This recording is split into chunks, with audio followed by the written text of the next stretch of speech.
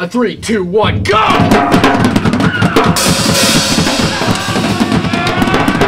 What a lot of people don't realize is grindcore isn't just about the music. I mean, it's about the whole the whole culture, the whole atmosphere behind it. Hey guys, look my grindcore bow tie. Oh, what? you has anybody brought it to your attention that you're really bad at drums?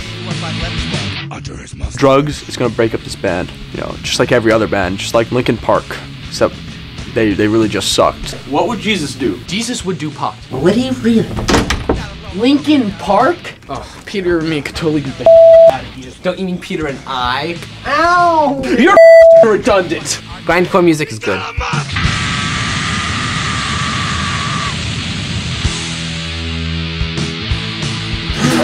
Pennsylvania.